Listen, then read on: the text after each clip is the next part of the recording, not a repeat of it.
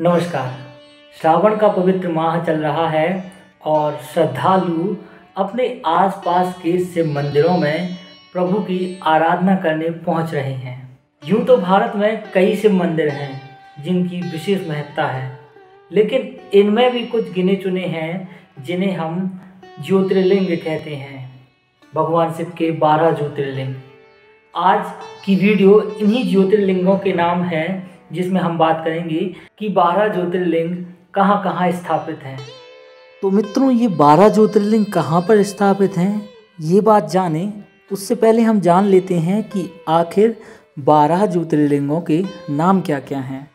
इनमें सबसे पहले आता है सोमनाथ, उसके बाद मल्लिकार्जुन, महाकालेश्वर, ओमकालेश्वर, केदारनाथ, भीमाशंकर, काशी विश्वनाथ त्र्यंबकेश्वर, वैद्यनाथ, नागेश्वर, रामेश्वरम और घृणेश्वर।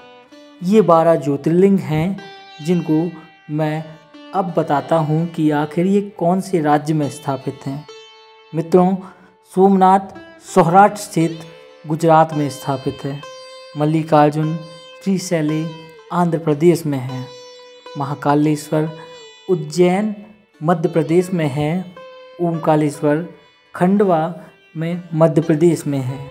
वहीं केदारनाथ रुद्रप्रयाग में है, जो कि उत्तराखंड में आता है।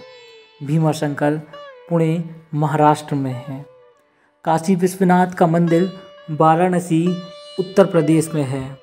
त्र्यंबकेश्वर नासिक, जो कि महाराष्ट्र में स्थापित है। वैद्यनाथ देवघर झारखंड में है। और नागेश्वर द्वारका गुजरात में है। वहीं रामेश्वरम, रामेश्वर में तमिलनाडु में स्थापित है और आखिरी बारवा ज्योतिर्लिंग औरंगाबाद महाराष्ट्र में है।